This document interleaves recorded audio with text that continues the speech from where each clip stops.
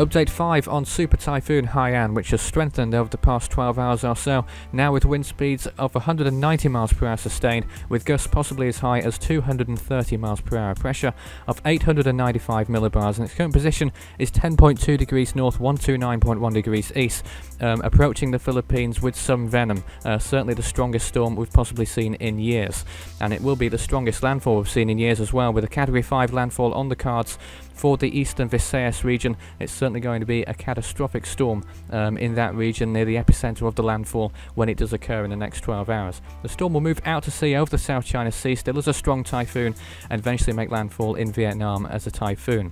So we currently have signal 4 warnings in effect for most of Samar, Leyte, northern Cebu, Capiz, Aklan and northern Antique. Signal 3 warnings in effect for most of the Visayas regions, you can see they're marked in red. Not enough time to go through them on this video. Um, and signal 1 and 2 warnings in effect for other regions around there as well towards the north and south of that um, immediate vicinity. So the probabilities for typhoon conditions in the next 48 hours certainly very high in the eastern Visayas region. I think it's almost a given certainty that we will receive uh, strong typhoon conditions over there, 115 miles per hour or higher, and that may extend further into the western Visayas region as well um, over the next 24 to 48 hours. So this is the current sea surface temperature picture, around 28 degrees where the storm is located, and that's been the case for a while. That's why it's been able to intensify so much along with other favourable conditions going its way. Um, and as it passes through the Philippines and beyond, temperatures will begin to fizzle out just a little bit, and that will mean the storm will begin to weaken. The CMC model then first of all uh, dips the storm a bit further to the south which is a little bit of a twist on what we've been seeing recently, uh, possibly affecting the northern Palawan region of the Philippines and then moving towards the west-northwest, making landfall in Vietnam with two new storms out there as well in the Indian Ocean and in the South China Sea. The GFS forecast model takes the storm just a little bit further north through the Visayas region of the Philippines, clipping the northern uh, part of Palawan region and then out over the South China Sea, making landfall in central Vietnam in the next few days with a new storm forming out to sea, uh, a fairly weak one uh, near the western coast of the Philippines. So this is the latest satellite imagery. You can see how a ferocious storm it is as it's passing towards the west-northwest, curving just a little bit more towards the west over the past few hours. You can see quite clearly here on this um, imagery a very well-defined storm. It certainly seems justified of its 190 mile per hour intensity, and you can see some very strong spiral bands moving into the Philippines now, the eastern coast of the Visayas region, and possibly northwestern Mindanao as well. And you can also see almost a perfect donut shape there um, around the eye certainly a very intense core around the eye there. So wherever the eye wall lands or makes landfall, we'll probably see some very intense conditions, especially on the leading edge of that eye wall when the storm makes landfall in the Visayas region in the next 12 to 24 hours.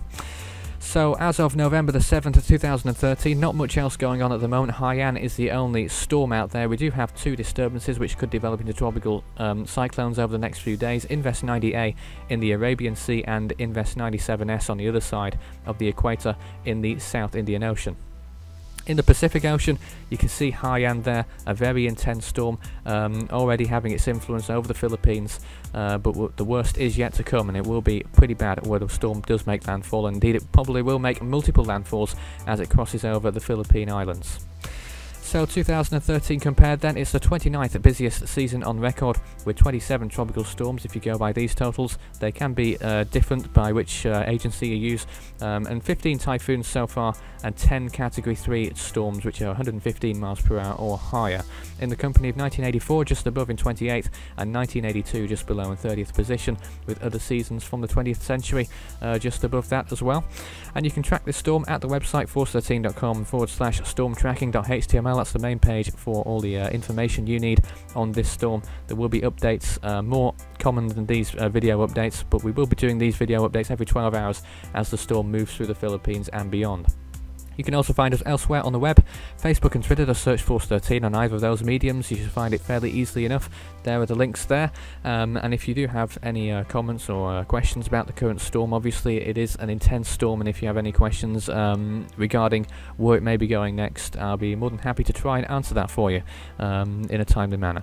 But until the next update, which will follow in 12 hours' time, that will be at 3am UTC on uh, Friday the 8th of November um, and that is 11am Philippine time on the 8th of November. But until then, that's all for now, and more than ever, stay safe out there.